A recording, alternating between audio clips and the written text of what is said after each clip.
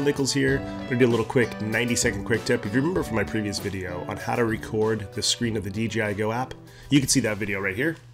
Popular video, a lot of people liked it. I had a problem where I said with AZ Recorder and Telecine that the video would drift from the audio when I brought it into Premiere. So I'm gonna show you that really quick, very quick way to fix it, and this is with MP4 files across the board. So let's open Premiere. We've got Premiere here. I'm gonna bring a clip into here. So let's bring this MP4 clip in.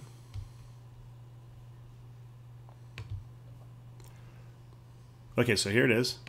Now you'll notice when we play it is what is happening on the screen. So up on the upper left. Now you'll see here it says EXP sensitivity and gain. We're gonna mess around with EXP today. Gain is basically how quick it reacts. Okay, so it just said EXP sensitivity and gain, but that is not where it is. That is all the way back. So that is all the way back here. And yet we were up here. So that's it. So it is messed up. So I'm going to clear this file out. I'm going to come back over to my folder. Basically what I did was I made a copy then I pasted it right into the same directory. That made it, you know, 2016 whatever copy. All I did was I just changed the file extension by clicking on it. I just changed the file extension to .mov. That was it. And then I put fixed in front of it so that I knew that it was the fixed one. I would have known from the MOV. Now that's over here.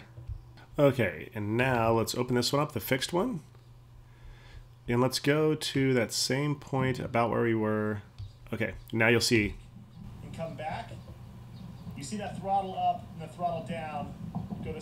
So that is it. That's your quick tip for fixing video drift and MP4 files. Just rename them to .movs when you bring them into pre- before you bring them into Premiere, and bring them into Premiere as a .mov. The video and the audio stay synced up. You won't have issues. This has been such a pain for me, and uh, I haven't been able to figure out why. Figured this out this morning, and it was just a big breakthrough personally for me because now I can edit in multicam uh, without having to worry about the audio drifting, and uh, it just works.